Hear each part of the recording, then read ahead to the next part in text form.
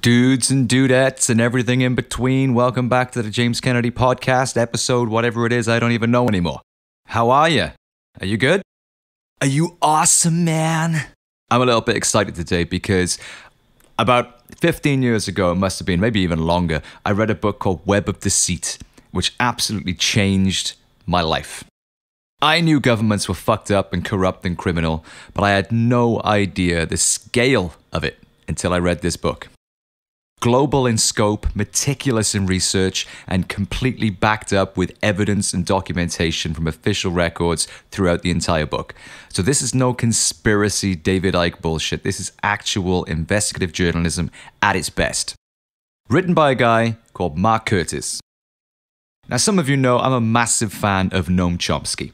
Any chance I get to quote Chomsky, I'm there. Now, Noam Chomsky, I think, is the most quoted living person on earth, or something like that. I think it goes the Bible, Shakespeare, Chomsky.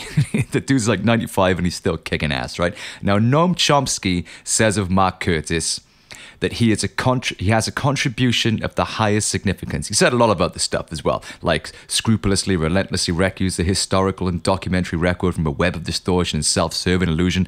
I just read that really fast from the cover of the book, Web of Deceit. Now, when Chomsky says that about you, you know you're a heavy hitter. But that's not all because the journalist's journalist, Mr. John Pilger, has also described the author of Web of Deceit, the country's best and most radical popular historian. Now, he also said a ton of other stuff about Mark Curtis, which I'm not going to read off um, because I think you get the gist. Basically, John Pilger and Noam Chomsky are the dudes, they're giants. And in the world of investigative journalism, when they come singing your praises, it doesn't get any higher than that. So, as a massive nerdy fanboy of all of the three people I just mentioned, it is my absolute honor to have with us on the podcast today the one and only Mr. Mark Curtis. An investigative journalist and author of the highest esteem, his books Web of Deceit, Unpeople, and Secret Affairs are essential reading. This is journalism and reporting at its absolute finest. I got a ton of things I want to get into with Mark today, and I'm so privileged to be able to have this conversation with him. And I really, really hope you enjoy listening and joining us for the ride. I know this is going to be informative, insightful, and mind blowing for all of us. So, without further ado, Mark Curtis, thank you so much for your time and being with us today. How the hell are you doing? I'm very well, thank you, and thanks very much for inviting me. Very, very happy to talk to you, James. Oh, well, anytime. Thank you, Mark. We're going to be very happy to listen to you, mate. um, so, as I said, I'm already a fully signed up Mark Curtis fanboy. But for those listeners who aren't yet exposed to your work and aren't yet in the Mark Curtis fan club, uh, what would be a quick 101 just to set the stage here for um, the conversation to follow about who you are, what it is that you do, and what is the nature of the work that you do? As far as I'm aware, I, I know of you as a best-selling author and investigative journalist, and also a media outlet owner uh, with Declassified UK. Uh, obviously, we're going to discuss all of that stuff. But do you do other stuff as well that I don't know about on top of all that awesome stuff? No, I mean, I, you know, for quite a long time now, more, more years than I care to admit, probably, I've been a, an independent researcher and writer about Britain's role in the world. And, and, and I guess what I've tried to do is tell the truth about what UK governments actually do around the world, which you know immediately puts me in contrast, I think, to the, the way that the corporate media fails to uncover um, the, the UK's real role in the world. So the sort of things that I've done is, I mean, I've you know I've written several books based on the uh, declassified British files. Um, you know the statements and position papers and the, the correspondence of, of, of government officials trying to reveal what they really want in, in places around the world. And then in the last couple of years, I've, I've set up an organization with a journalist colleague of mine called Matt Kennard, an organization called Declassified UK, which also seeks to tell the truth about the UK. Um, and we write articles and conduct investigations, trying to perform a public service, trying to tell people what the UK's real role, real role in the world is. And you know, if I was to try and summarize that, I would say that Britain is basically a rogue state, um, a routine violator of international law, a supporter of numerous progress, uh, repressive regimes and, and dictatorships, and in effect, a warmonger. You know, a country that regularly goes to war um, and I, I, I think that the British public has been kept in the dark. They, they've been sold a lie. What, what they've been told is that the, our governments act in our interests and promote peace, democracy, and human rights around the world. And, and, and that is plainly not true. And I, I, see my role and the role of Declassified now with, with the other journalists that we have to, to tell the truth and to play, to play a public service, informing people what actually is being done in their name rather than what they see on the BBC or read in their, in their newspapers. Well, I know for some people listening to this, already you will have made quite a few controversial claims there to suggest that Britain is a rogue state and a supporter of terrorism. And obviously, I know that you can back up everything that you say with steel hard evidence. But for people who are kind of new to this, what would be some current conflicts happening right now around the world that you could use to illustrate the point that you're making about Britain's real role in the world? Yeah, I mean, there's there, there's a lot. Uh, there's you know there's a lot of historical um, episodes that we can look at in Britain's foreign policy that you know some of which have never been mentioned in in media or on television and that people won't know about, um, which I've tried to document in my books.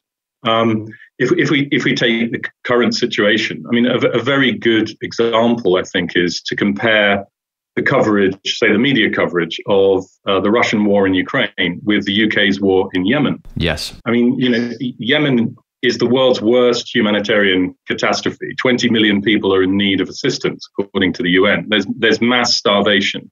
There's been a war going on in Yemen since 2015, um, where the Saudi Air Force has been bombing the country with British uh, support, uh, with British advice, pilots trained by the UK, armed by the UK, diplomatically supported by the UK, with RAF senior personnel advising the Saudis on their airstrikes. Massive co- commitment of uh, war crimes, thousands of attacks on civilian targets, schools, hospitals, you know, in Yemen for seven years. It's a British war. Um, that that conflict has received actually very little coverage in the media um, certainly compared to you know what's now going on in in Ukraine. Um, and and it, it's illustrative of of how British the British elite Whitehall does not care about international law or human rights, um, protecting civilians, you know, in conflict. Um, and also illustrative of how the media essentially acts in service of the state, not through any conspiracy or not through any coercion, but simply in the incentives that there are for journalists to cover some stories but not other stories. So, you know, the, the, the Yemen conflict should really be in people's minds. You know, it should be on the front pages. It should be a leading item in news reports, and it, and it simply isn't. There's been sporadic coverage of, of, of the Yemen war. Some people will know about it but many people don't even know it's going on, and, and they certainly don't know what role Britain plays in it. If you do a Google search for Britain's role, Britain's war in Yemen, you won't find more than one or one or two um, one or two articles. That's crazy. So it's been cut. It's been covered up essentially, and it, there, there are there are several other conflicts that I could mention. I mean, for example, one of the one of the conflicts that m- many people know about is between the Israelis and the Palestinians. Yes. Yeah, very, very controversial conflict. Um, but w- what's clear is that the, the, the British are arming Israel.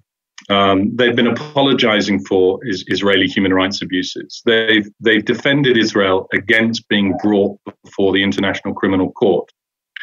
Um, and all of this is taking place without any, again, without any significant media coverage of Britain's exact relationship to Israel. The fact that it is supporting Israel militarily. There's a secret military agreement that the UK has with the Israelis. It's never been made public. Uh, the media has never even mentioned it, actually, as far as I'm aware.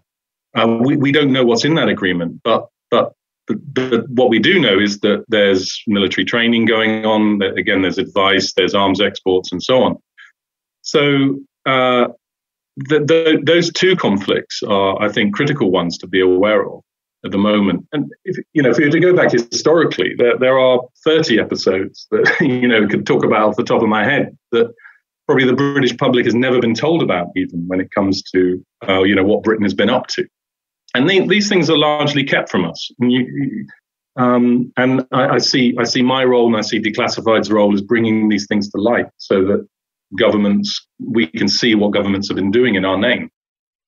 It's so important the work that you do. It's absolutely brilliant. And when I read Web of Deceit as a much younger man, it had a really profound, lasting effect on me, actually, which which I still feel to this day. I mean, when I when I read it, I felt that I was quite enlightened and tuned in. You know, I was a cynical old lefty, and you know, the the idea that the government couldn't be trusted and lied to us and was involved in covert operations around the world was not entirely new or controversial to me. But when I read Web of Deceit, I just had no idea the scale and the depth of it and how far back this goes as well.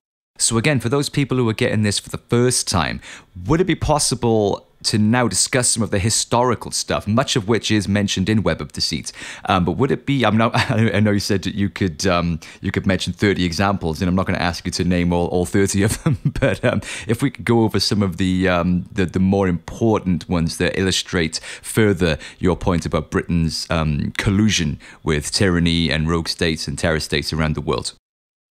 Well, first, thanks, James, for your, your comments about Web of Deceit. Yeah, I mean, I, I, you know I wrote that book as a kind of stream of consciousness nearly 20 years ago now, where I tried to to bring together what I thought was the reality of Britain's foreign policy by going back and looking at the, the declassified files and then trying to bring it all together in a in a popular book, you know, that could be uh, understood by by everyone. Not you know not not specialists. Not, it wasn't aimed at specialists. It was aimed at um, everyone to, to be able to understand, you know, their, their, their country's role in the world. I mean, I, I, think there are several themes. I mean, one is that, you know, Britain is a, a regular supporter of repressive regimes. Uh, there's no real intrinsic interest in human rights or, or international law uh, in Whitehall. These, these are concepts which are used to, to challenge enemy states. Um, so, for example, you know, you, can go back to the go back to the 1950s. Look at the, the UK's role in the overthrow of the Iranian democratically elected government in 1953, the overthrow of uh, Indonesia's popular nationalist government in, in 1957, the support for the overthrow of the Chilean leader Salvador Allende in, in 1973.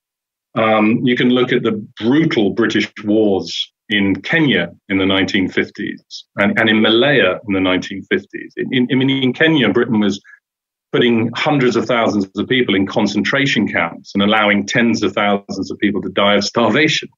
In Malaya, we, we were mass bombing um, the Malayan countryside and actually using precursors of Agent Orange that was used in uh, Vietnam by the Americans to defoliate um, huge areas of the Malayan countryside in order to uh, in order to attack the rebels who who were fighting a, a British backed government. You know, in in the sixties, we we depopulated the Chagos Islands yeah. in the in the Indian Ocean.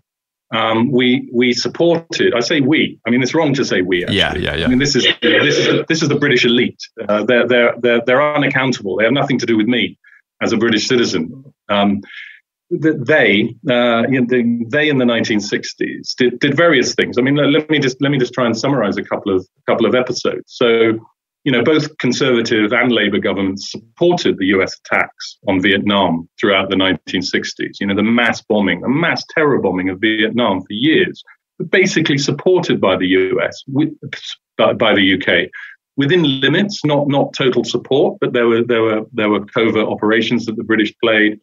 Um, we, we we we backed the, the the U.S. war there, which was one of the most devastating conflicts in in human history.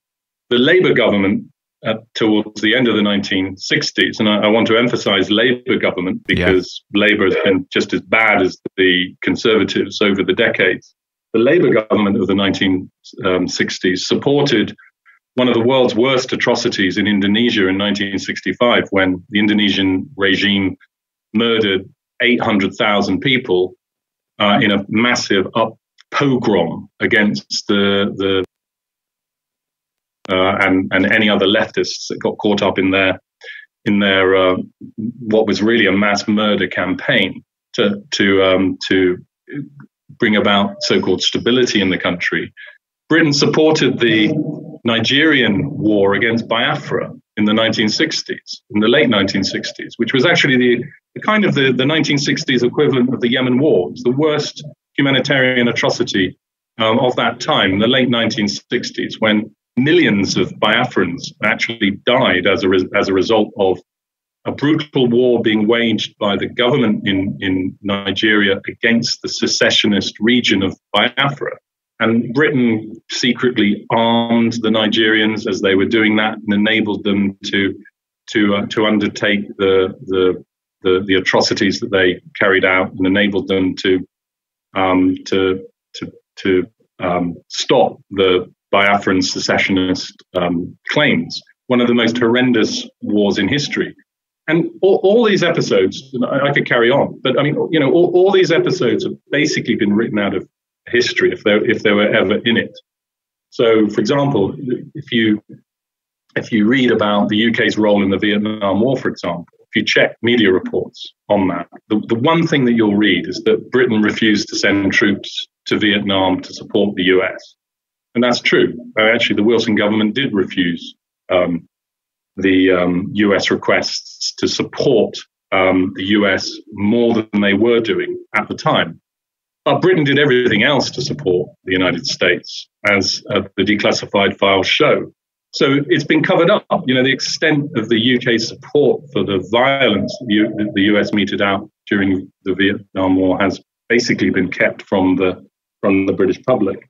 These are just some of the episodes in the you know in the 50s and the 60s, carry on into the 70s and the 80s and the 90s and up until now. And it's not it's not necessarily the case, and I'm not I'm not saying that absolutely everything that Britain does in the world falls into these categories of promoting coups and supporting human rights abuses and backing repressive states and violating international law. I'm not for one moment saying that that describes absolutely everything that Britain does, but these are permanent features of the UK's foreign policy.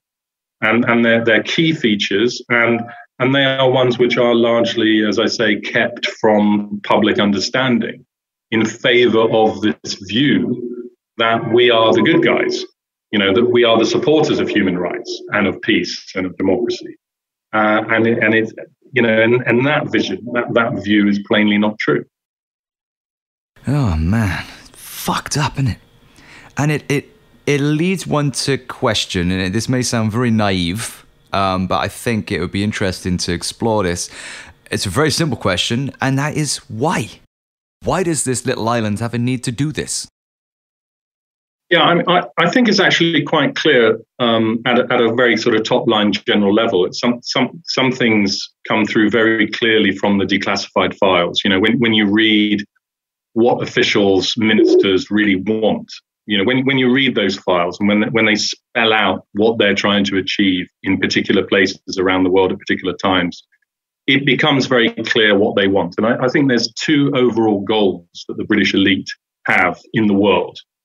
One, one is to ensure that the Western, the, the, the overall global economy functions in the interest of Western corporations so that our multinational corporations benefit from access to and control over key resources in the world, particularly including oil in the post 1945 period and other mineral resources, other key strategic minerals useful for industrial society.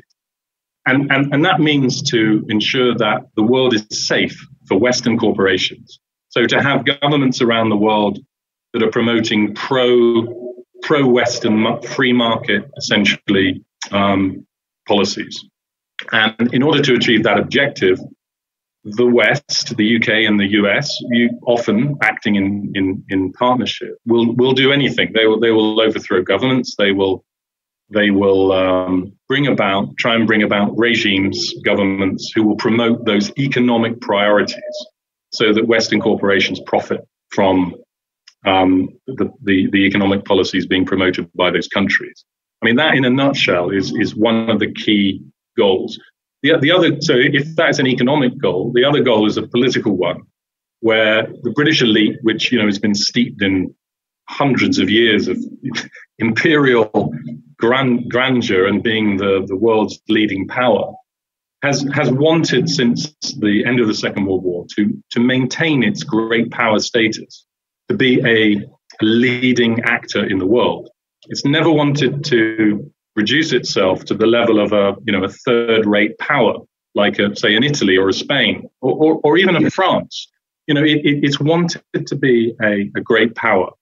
Um, and that meant in, in, in the early post war world, it meant allying the, the UK to the US, you know, the world's superpower, and for the, for the UK to become a kind of lieutenant to American power around the world. So that by latching on to the US and, as, as a real special relationship, that would maintain Britain's great power status. So that we would have this, continue to have this ability to influence the world and actually to rule to rule the world along with the US, essentially acting as the US's lieutenant. Um, and various various policies have been put in place to try and maintain that political influence.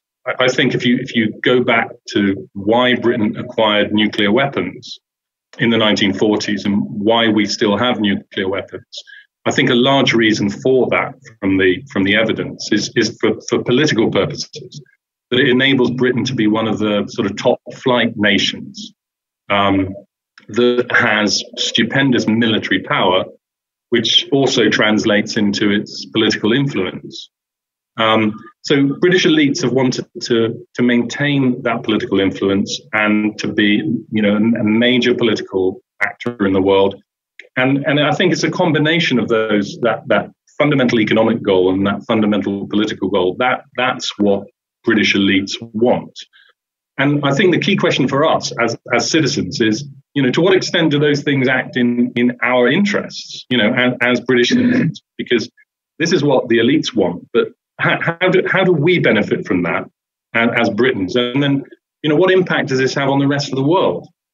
And I would say that the the impact on the rest of the world is is is often extremely negative from from these twin goals that the, the British have, and and also it, the, the, these goals do not act in our interest either.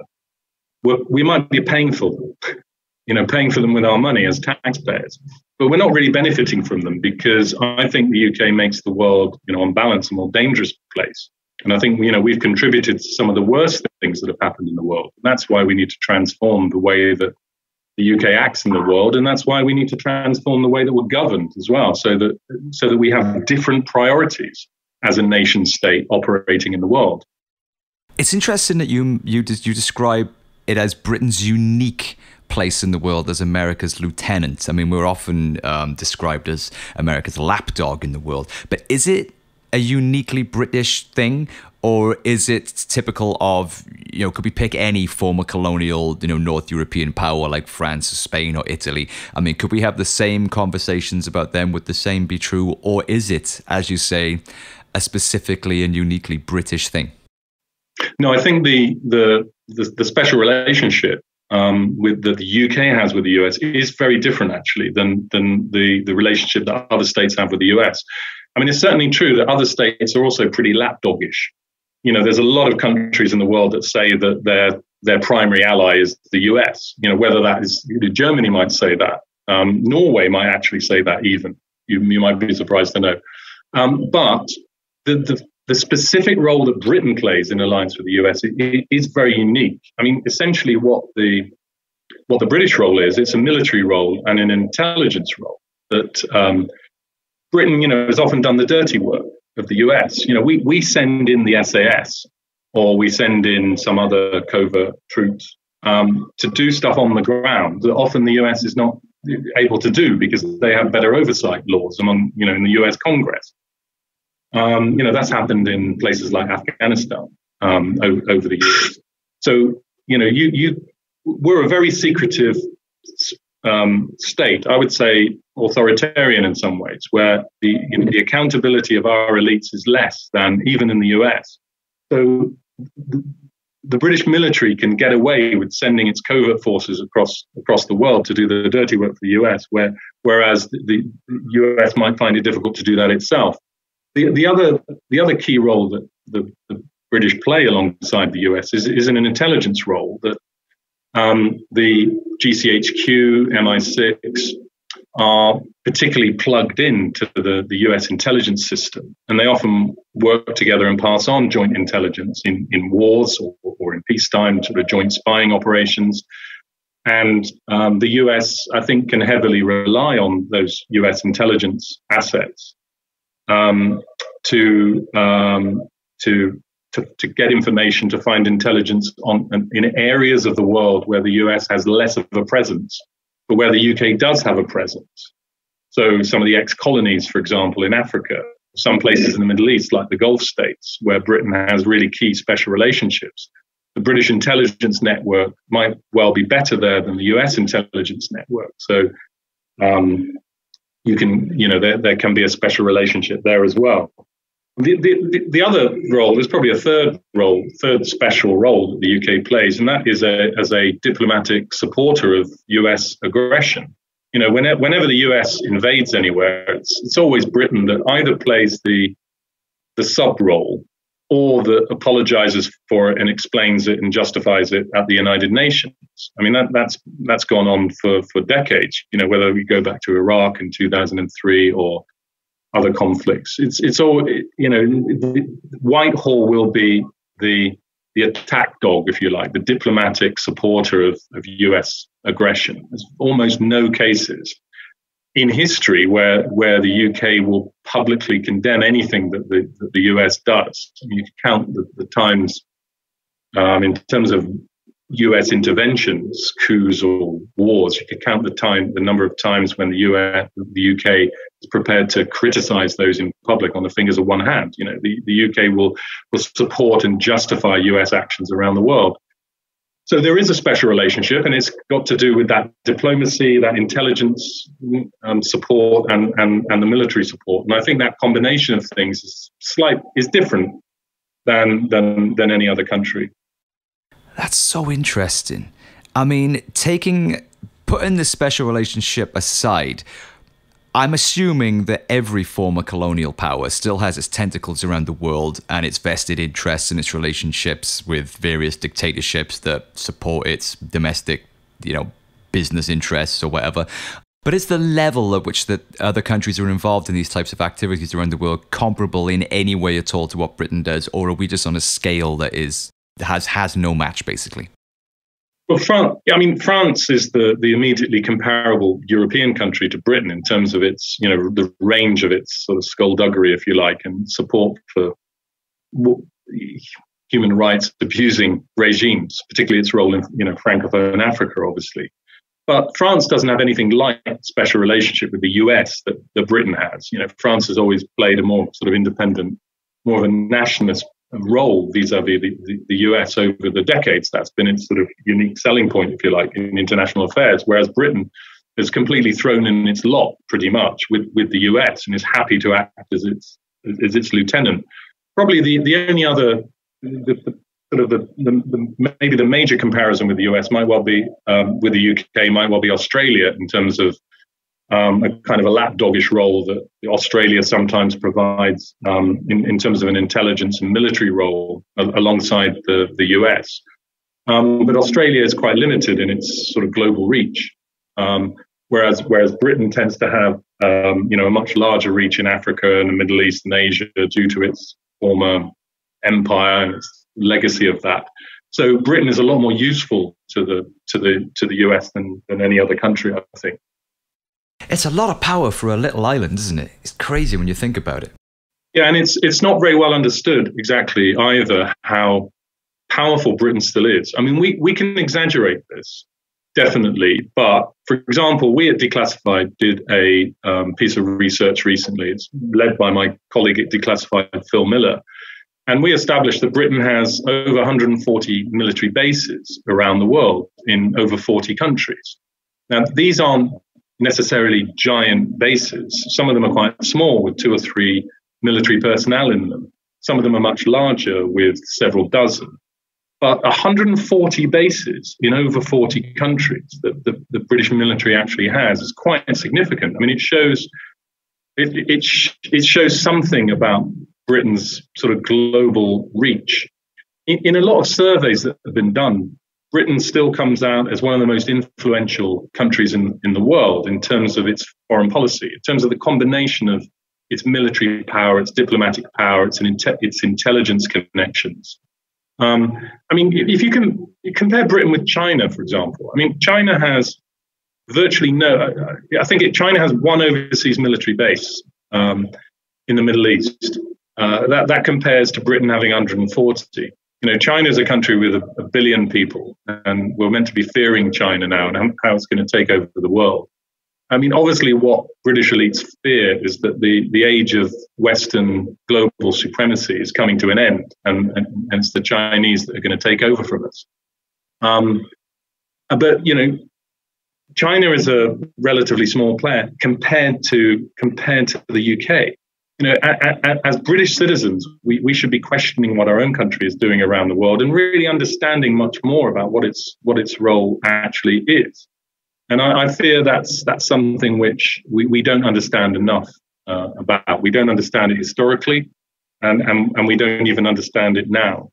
Well, it's interesting that you mentioned the rise of China because I, I'm really interested in that myself as to how that's going to play out. Because you know many people think that we're entering the end of the Western dominance of the world, and uh, you know we're, we're seeing the beginnings of the um, the rise of the East. But I had Greg Palast on the podcast a few weeks ago, and he disagrees with that. He said that if you look at what's happening in China and India, they're actually westernizing. Their their their, their growth in power and influence around the world is actually as an effect of them becoming these huge capitalist economies, and their tentacles are spreading around the world through that old mechanism. So he thinks that the, the Western rule of things around the world is actually doing very well and is actually supported even further by the rise of China and India.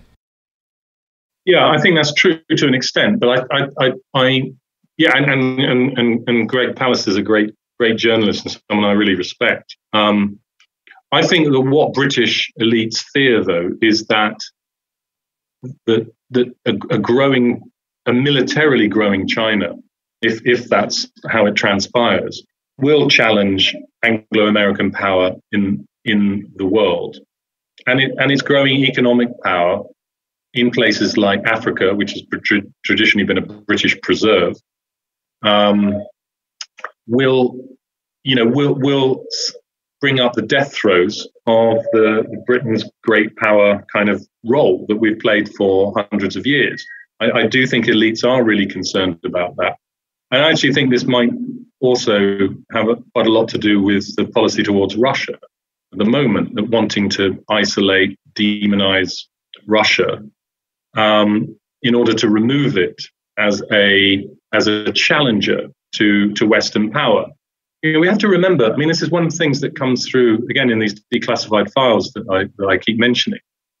The, it, elites really do think, see things on a chessboard. You know, they, they, they really are concerned with geopolitics about, you know, the, this country rising in power, threatening us, that country rising in power, threatening us. That's, that's really how they do think. That's how they've thought for hundreds of years.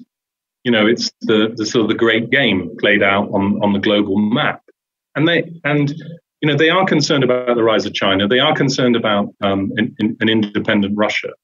And traditionally, the biggest threats to to Western power have been independent nationalist regimes that, that don't do the West's bidding. You know, they, they they they challenge those economic policies that I was mentioning earlier that the West wants to promote in the world. You know, they have other ideas about um, maybe nationalizing their, their strategic resources or not wanting to trade freely with the West, not wanting to invite Western multinationals into their economies. You know, one, once countries adopt, countries and governments adopt those kinds of policies, they they are regularly seen as enemies of of the West, and then then they can be ripe to being for being overthrown and, and so, independent nationalism, governments that cannot be controlled by the West, are seen as enemies. And we see that with Russia, we see that with China. It doesn't make them benign. I, am no supporter of Putin or of the Xi Jinping regime in China. These are authoritarian regimes, pretty nasty regimes. But that's not the reason why they're opposed by the West. The West is happy to deal with all sorts of nasty regimes. The reason why they're, they're, they're challenging Russia and China is because Russia and China are independent regimes that don't do the West bidding. Um, so, and and that's why I think these things are very dangerous because in, in these calculations, British elites aren't thinking of the national interest. They're, they're not thinking about the interests of the British public in their policies towards Russia or China. They're thinking about the interests of the elite and wanting to maintain of great power status. And that's so there's a there's a massive schism between their interests and, and our interests, in, in my view. How do you see this playing out then over the next few decades? I mean, is it conceivable that there would be a military confrontation between the West and China? And do you do you see that being a traditional land-based confrontation or nuclear or economic? Or do you think that the powers that be are more likely to avoid that route? Well, I do think there are there are signs that some things could be pretty dangerous because there clearly is a faction in the US and in the UK and in other parts of the West that, that probably thinks that they should be taking on China earlier rather than later, before China becomes an even more important economic and military power, in order to stop China becoming a, a more major power. And some of those signs are, you know, this British pivot, so-called pivot towards Asia and sending our warships over to uh, the the Indian Ocean and into the into the South China Sea, and signing this new agreement with Australia and the US to challenge Chinese power in Asia. Uh, you know, is this the beginning of a, of a new sort of episode in warmongering, where the West is looking for a moment to actually militarily take on China? I mean, because if we're in that sort of area, then things could get very, very dangerous. Um, that, that these are clearly things to be very, very concerned about, I think.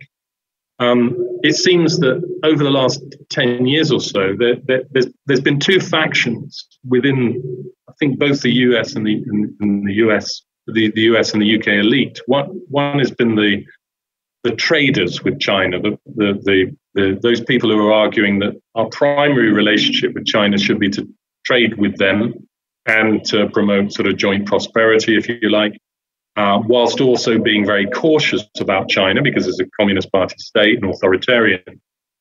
But then the other faction has been, well, actually, you know, we, we, we should be prepared to compromise on those trade relationships. The real relationship we've got to be, we've got to have with China is to contain it, even militarily. And it seems that what's happened in the last 10 years is that that, that latter faction has, has won. And now we're in the situation where it's the containment policies and the you know militarily forward forward basing policies that are that are ones that are dominant, and that that's that's dangerous. Um, and, and you, you, mentioned nuclear wars. I mean, unfortunately, we can't we certainly can't completely rule out um, the prospect of nuclear wars between the great powers in the coming decades, just like we, we haven't been able to rule that out in, in, in recent decades. And th- this is not just a problem with our, you know, the, the official enemies. It's not just a problem with the, the, the Russians and the Chinese. It's, it, it's, it's a question of our policies as well. Most people don't realize that we, we also have first strike nuclear weapons policies. First strike means, you know, being a country to first use nuclear weapons the, the West and Britain has never ruled out being the first country to, to use nuclear weapons.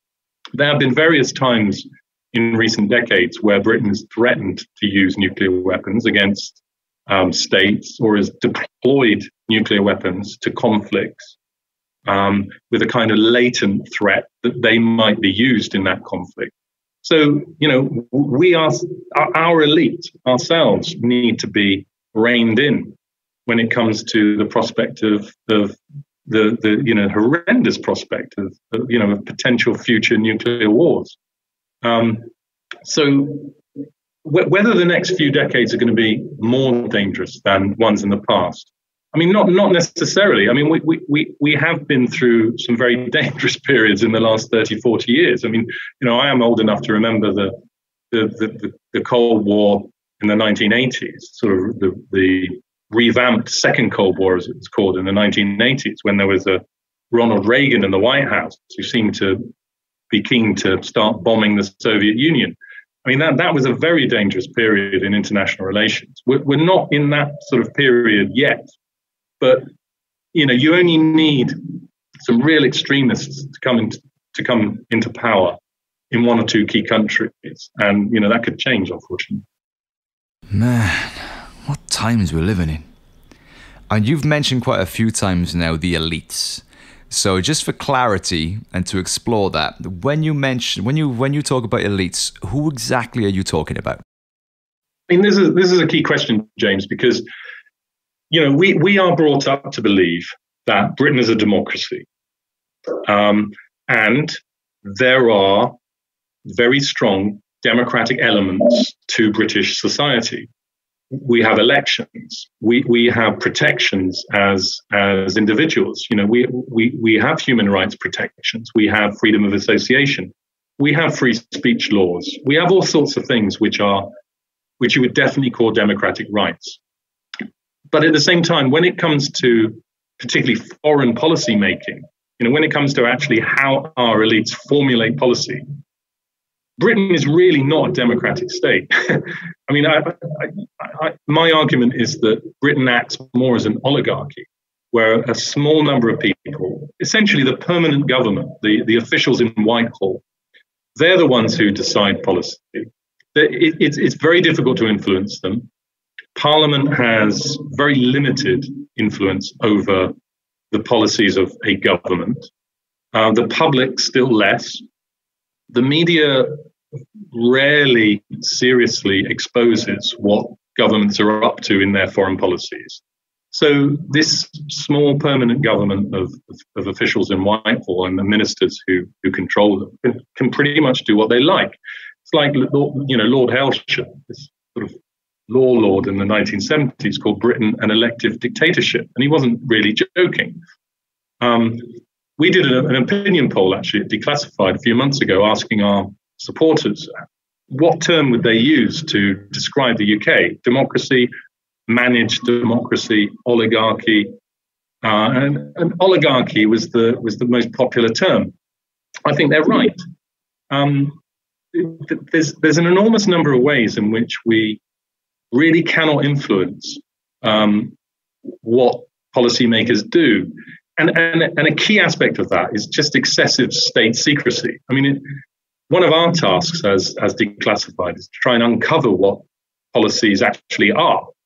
You know, because even when MPs ask questions of, of government in, in the House of Commons, the, the answers routinely come back saying, well, we can't answer that because it's long standing policy not to not to reveal that.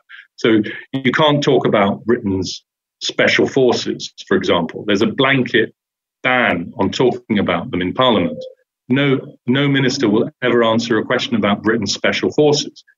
They might be active in half a dozen countries around the world, but we have no idea what they're doing. Um, there's very limited influence that backbench MPs have over the policies of the state. For example, the, the primary mechanism by which um, government policy is scrutinized is are these all-party parliamentary committees the Foreign Affairs Committee, the Defence Committee, Parliament, which are meant to monitor government policy and are meant to hold the government to account. But if you if you look at those um, those committees and what they do, they're toothless. Uh, they, they they very rarely put the government under any real pressure. They they very rarely expose what the government is doing. This is the primary mechanism in, in Parliament, or one of the primary mechanisms in Parliament to, to hold governments to account for their foreign policies, and it simply doesn't work. So there are, there are whilst there are a lot of democratic elements to our society, there's also a lot of oligarchical elements in terms of how our system works. We, we can see it, you know, you see it now with, with you know, the, the, the cronyism going on in, in government, the handing out of contracts to, to the mates of ministers and the, um, the impossibility of removing a prime minister who lies all the time. You know, why is it we can't? Why, why is it that the British political system cannot remove a person who regularly violates the law, and who lies all the time? Well, the reason is that there are no democratic mechanisms to do that. There are no democratic mechanisms to actually hold a prime minister to account. Britain is, you know, in, in, in its foreign policy, we're, we are routinely violating international laws, routinely contributing to human rights abuses. Ministers cannot be held accountable for those actions by law. There's a thing called crown immunity, which means that if ministers contribute to human rights abuses abroad, they cannot be held accountable for them under because they are immune as a minister of the crown. This is not democratic. You know, this is oligarchic. And I think, I, I personally think that the, the, the, the biggest challenge, well, one of the biggest challenges we face is to democratize our, our whole governance system because it, it, it really is is not democratic, particularly when it comes to, to foreign policy making. And is there an ideological element to this? I mean, I've always been very confused by this because I, I just can't wrap my head around that. I mean, you'd have to be barking mad, wouldn't you? I mean, I so I've always leaned towards the more cynical analysis that it this is the motivation for these guys is basically the, the classic lust for more power and wealth and greed and corporate interests and you know this the sort of vested interest to protect the class that they're a part of. But am I wrong? I mean, do these guys still live in the in the 1700s? And does ideology play a part in this at all? Well, I think there's definitely are personal goals that, that some ministers, officials pursue when they're in public office. I mean, for example, the classic thing is kind of the, to do with the revolving door of um, of personnel between Whitehall and then say arms corporations or energy corporations. You know, a standard thing is for officials in the Ministry of Defence or ministers in the Ministry of Defence, once they retire or leave office, to take a job in, in some arms corporation and, and earn lots of money, uh, possibly in an arms corporation that they've been promoting while they were an official. Um, if you look at BP and Shell, there's a revolving door between officials and ministers and them as well head of MI6, um, is currently on the board of, of um, BP. Um, the, the, intelligence community and big um, British corporations, you know, another revolving door. So people definitely do personally profit from from the system, and some people see it as a you know a way of personal personal aggrandizement, personal profit, and and this is you know it's corruption at the, at the end of the day, um, if it happened in Africa, it would be called corruption. Uh, when it happens here, it's just sort of called, well, it's just the Whitehall system.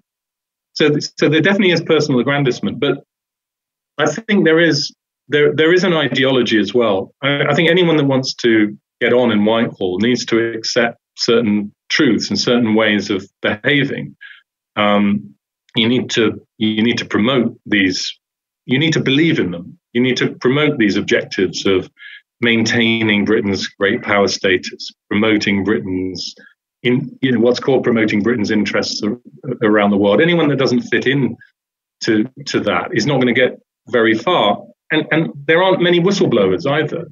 You know, we we there's a we we um we had declassified recently interviewed a former foreign office lawyer called Molly Mulready, very brave woman who told us on camera about how casual and joking Boris Johnson was when he was talking about arms exports to Saudi Arabia being used against civilians in, in Yemen. You know, she she's she's a whistleblower. She she revealed how the Whitehall system has been arming the, the, the, the tyrants in Saudi Arabia and causing human rights abuses in, in Yemen. She's one of you know, she's she's that 0.0001 percent of the people working in Whitehall who are prepared to to eventually blow the whistle and tell the truth. Um, we do need more people like her actually to to come out of the to come out of the closet and to to speak frankly about what they've seen going on in the inside of of Whitehall. But there's a culture, you know, there's there's a culture there, and um, the system militates against challenging, you know, against challenging it. This is a it's a deeply rooted, embedded ideological system, I think, in Whitehall that has long promoted certain objectives. Well, we're supposed to have a media whose job it is to hold power to account and keep us all informed of to uh, the skullduggery, as you've described it, that happens in our name and on our purse strings, of course. But as you've alluded many times, they they don't even acknowledge that these things are happening. So why is that? You know, is it simply as cynical as that they have to basically conform to the wishes of the corporations that pay for their advertising? Or is it because most of the mainstream media outlets are actually owned by people who are part of the very elite that you're talking about?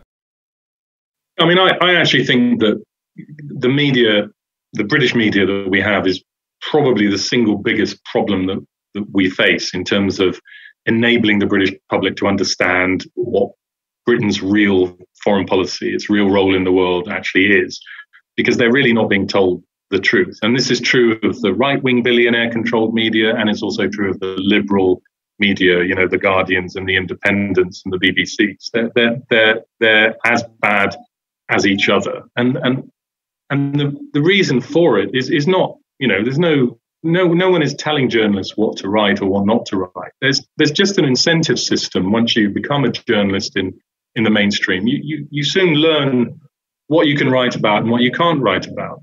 All the incentives are to to write stuff that um, and enables you to continue to have access to the powers that be, um, to get the quotes from them, to get the stories from them, and not to upset the apple cart too much. I mean, in a way, it's it's not unlike any other system. I mean, anyone going to work in an office for a corporation, any, everyone ultimately gets to understand what are the red lines, the things that you can get away with, the things you can't get away with as as as an individual. And after a while, you begin to self censor. You begin to you, you begin to say, well, I, I shouldn't really write that because I know that if I write that, then you know the editor might not like it or the ministry of defense might not like it and and therefore it's safer to do something else. The the way that the UK media works is that it it I mean you can say anything you like about our enemies. You know you can you can say that Vladimir Putin eats babies and locks up his children at night and you know and, and whips them to until they're half dead you could probably, if you wanted to write that, you could probably get it published in, you know, in the Times or something. But if you try and if you try and uncover stuff that's actually factual about what our our um, allies are doing or what we are doing, then it becomes much more difficult to get that published. Um, the other thing is that you know most people don't realize that um, most of what we read in the British media when it comes to Britain's military policies abroad or Britain's foreign policies abroad, most of that actually comes from the Ministry of Defense or the Foreign Office. You know, a lot of it comes from straight press releases that have been handed out to journalists from those government departments that then journalists write up as news um, and then present it as a news story. So it, it, the the viewpoints of ministers, the viewpoints of the state, can very easily dominate the news coverage. Um, we, I, I Declassified and we at Declassified have done analysis of Sky News, BBC, and the print media in the UK, trying to look at, well, I mean, how do they cover Britain's foreign policy? And the, the, the analysis is always the same. There, there are a few articles that you could say are genuinely critical, that are revealing certain things. But, but most articles are firmly within the framework that ministers are completely happy with. So, you know, declassified, we, we've written 300 or so articles now that reveal all sorts of things about Britain's role in the world. We simply could not get published in the, in the mainstream media because it wouldn't be prepared to, to, to, to take that kind of material. Um, the, the frustrating thing is that the public uh, generally, I don't think, really understands the degree to which they are being misinformed and sometimes disinformed by the papers that they're reading and the television that they're watching. You know, I, I know that trust in the media is an all time low. The opinion polls seem to say that. So people are cynical about the media. But I don't think that people buying the Times, buying the Guardian, they don't they don't quite understand the extent to which they're not being told the truth in in in in um, in, in what they're reading. And and this is a key task I think of declassified. We're trying to we're trying to raise public awareness about how the, the mainstream media actually works. Um, and I hope that you know by by people looking at our articles and our investigations and then comparing what we're doing to what the the rest of the media is doing, I hope that they will see what you know what that difference is. That you can learn a, a lot more by reading our stuff than by by you know watching the television or reading the papers. Oh, 100%. I mean, the site, let's, let's give it a quick plug whilst we're on the topic, and we'll, you know, we'll plug it later and link it in as well. But the site that Mark is describing is declassifieduk.org, and it is absolutely incredible. I would recommend everybody go there as soon as we finish listening to the podcast now and check out an absolute gold mine of information and articles and evidence and content of the very nature that Mark has been talking about throughout this chat so far. The site contains a real treasure trove of information that's such an asset to all of us thanks to the years of tireless work by Mark and many other journalists. So I'd 100% recommend everybody get digging through that site and save it as a favorite straight away. But would you be able to give a shout out to some other alternative news sources that people can go to as well for good, reliable news, uh, you know, to do with daily affairs as well? Because a lot of people have, have recommended the Bylines Times as being a particularly credible and reliable source. Uh, is that something you would go to, or are there other places as well that you could mention uh, that people can go and check out rather than the fucking same old Guardian and Daily Mail and you know, all the others? Well, thanks first of all for what you're saying about declassified. I, I, appreciate that. I mean, we have had lots of good feedback from the people that do know our our, our site, and so clearly we're we're performing a you know a good function for for increasing numbers of people. So I, you know I appreciate that. Yeah, I mean, over the last ten years, there has been a burgeoning of, of independent media organizations, which I think is a very positive thing. I mean, I actually saw a a uh, poll the other day saying that something like 30% of people are now getting their primary news source from, from social media. Now, I know that that can be a hazard in some cases because there's a lot of, you know, there's a lot of fake news on social media. Um, there's a, so we, you know, we need to be careful about relying on social media, but there's also a lot of very good stuff on social media. We we use Twitter uh, a lot as our as our messaging platform, as a as a platform to to publicize our our articles, and a lot of other independent media groups do. And it's very encouraging to see people, I think, increasingly moving away from um, national newspapers and mainstream television into looking at uh, into consulting more independent media. Yeah, I mean, there there are some very good organisations out there. They're they're often, I mean, like us, very very small, so they tend to be niche. There's, a, there's an organisation called the Ferret in Scotland, which does very good investigations into things things to do with Scotland. Uh, you know, it's independent, run by its its members, publicly so you know publicly funded, and you know very good. Um, I, I, mentioned them; they're, they're, just one example. I mean, you know, there, there, are there are plenty of others. I mean, there's organisations like Novara Media, there's the Canary, there's Skwawkbox. There, you mentioned Byline Times; they they do some good work.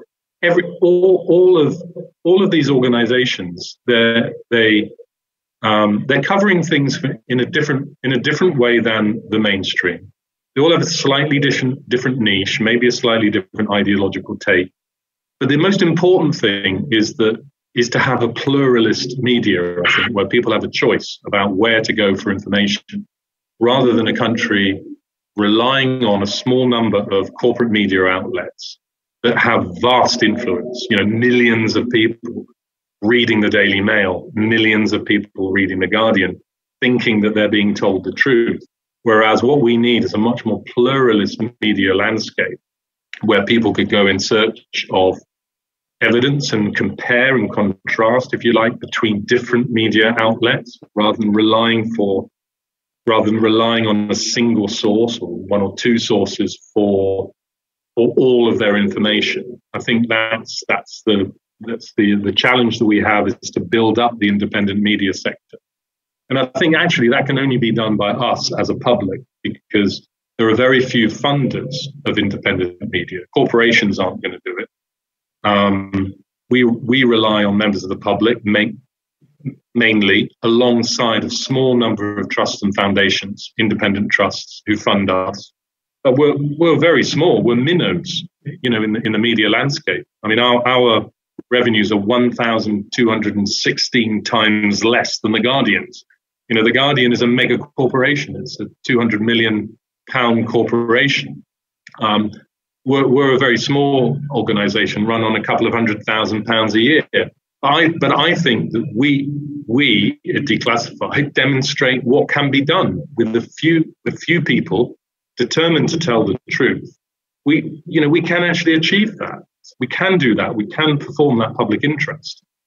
And I hope that increasing members of the public will will you know come in and support us and support other independent media because that funding will only come from us i think ultimately and I, you know I, I look forward to the day when it's independent media who who dominate the media landscape in the UK not not the establishment corporate media i think we are moving in that in that direction and it's quite encouraging yeah, that's heartening to hear. And it's encouraging that there are more options now because it is very easy to get frustrated and bleaked out by this stuff, you know, and for good reason.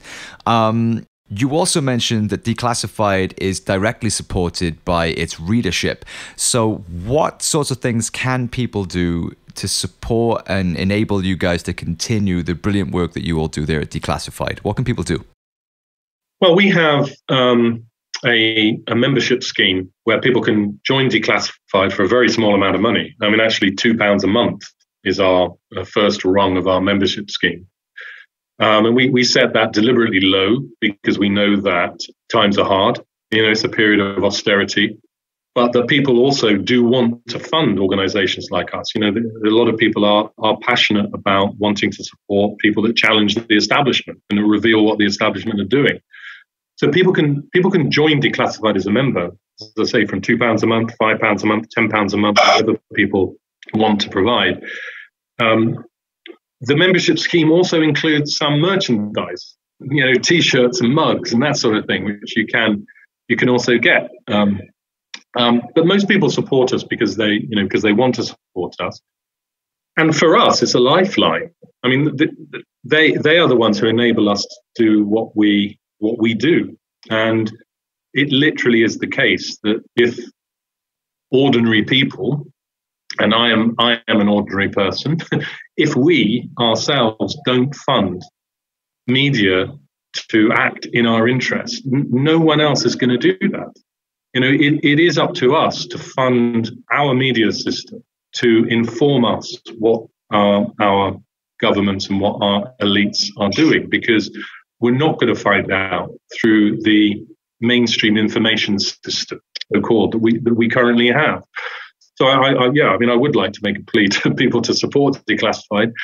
Um, it, it, would be tremendously useful for us, and I think you know you, are contributing to a new media landscape in the UK, which is uh, which should be our joint goal. I think. Well, I'm going to sign up straight away and I'm going to buy a damn t shirt as well. Great. Thanks very much. so, everybody listening to this, rush out, subscribe to Declassified, and buy a damn t shirt. I'm also going to plug the books one more time as well because I cannot recommend these books enough. Honestly, they, they sound heavy going, I know, and they are in content, but they're so well written and easily digestible. Uh, you will not regret it, honestly. An absolute life changing, mind blowing necessity, I would say. The three books, um, the most famous books of Mark's are Web of Deceit.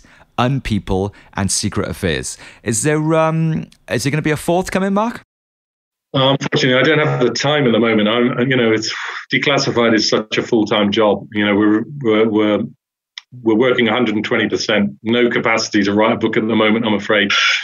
Oh, I hear you, man. I'm I'm dragging my heels right in my second book, and my, my first book was uh, was just all about myself, so that should have been easy enough. So uh, I, I wouldn't last two minutes doing the sort of work that you do, and, and finding some way to condense all of that into a book. Um, but the three I just mentioned should be more than enough, I think, for anyone to check out. And uh, just before you go, because I know that we're going over time now, and, and I know you're super busy, uh, I just wanted to ask you um, one final question: Is having heard everything you've had to say today what can we do? I know it begins and ends with information, and we've thankfully we've got people such as yourself for that. So the first thing we can do is to educate ourselves and take a deep dive into the information that is available. The second thing we can do is to support these media outlets, these alternative sources of information, who are oftentimes surviving on a shoestring and contain some of the best and brilliant journalists of our times. But beyond that, once we're armed with the knowledge, what can we actually do to stop this?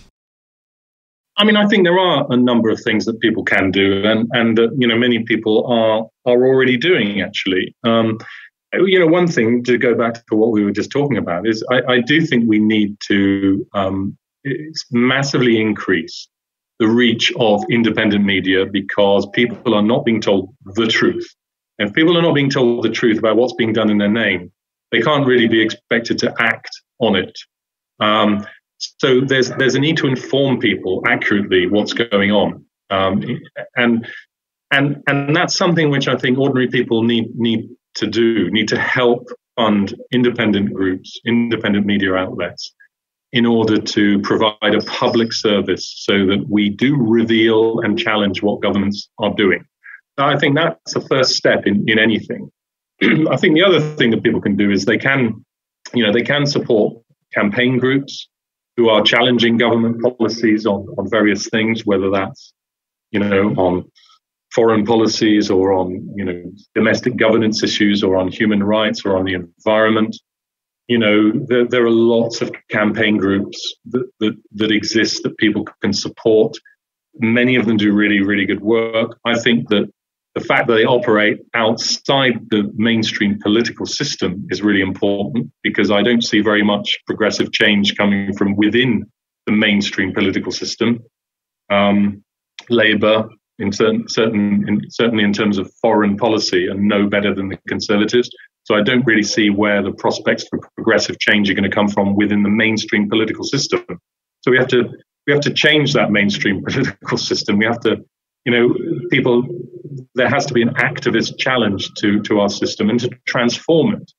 And I, and I think that the, the one area that campaign groups need to come together on, possibly with independent media groups like, like ours, is to democratize this country, is to actually to have a much bigger campaign to transform our largely oligarchical governance system into, into a democratic one.